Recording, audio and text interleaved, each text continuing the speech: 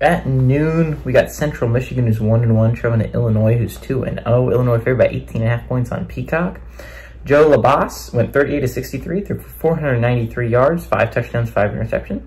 Miles Bailey has had 17 carries for 122 yards and 2 touchdowns on the ground. And Solomon Davis had 7 catches for 118 yards and 2 touchdowns. Luke Altmyer has gone 35 of 49, throwing for 405 yards, 4 touchdowns, 0 interceptions. Kaden Feagin had 32 carries for 148 yards and 2 touchdowns. And Pat Bryant had 8 catches for 133 yards and 2 touchdowns. Central Michigan is 0, 0 and 0 uh, against Illinois. They've never played before. Um, both these teams are coming off very different weeks. Um, Central Michigan's coming off an absolutely disappointing performance against Florida International.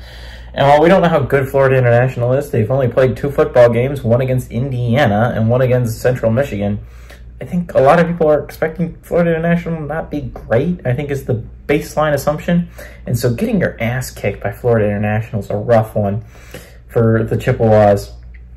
Illinois is coming off a very different week, though. In a game where you were underdogs on home field against a ranked Kansas team, Bret Bielema's team found a way to win a football game. And it's just what kind of what Bret Bielema has done so far at Illinois. A lot of people, they had a rough year last year. They went 5 and 7. But a lot of people forget, outside of the Kansas and Penn State games, all of those games were very winnable football games. Illinois just barely came out on the bottom of.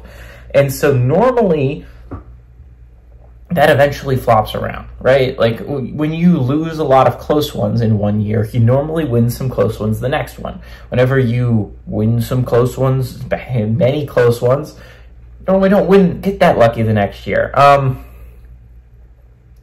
but Illinois, Illinois played a hell of a game against Kansas and they came out on top of it. And you got to be impressed if you're an Illinois team fan.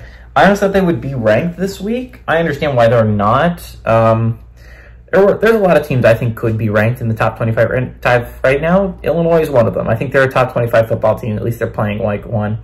Um, Illinois is a good football team. They are. I think they're a team that is going to be really interesting to watch this year. They have a hard schedule. I will not lie. I think it's hard for me to imagine them winning a whole bunch of those football games. They play Penn State in a little bit. So, um, I really like Illinois is a good football team, and Central Michigan's not a great one.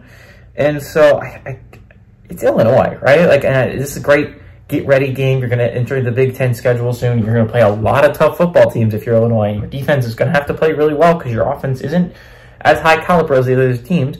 But you still have a shot. You're still a really good football team. And I like the Fighting Illini here. To win and cover at home is a great get right game for them heading into a rough schedule.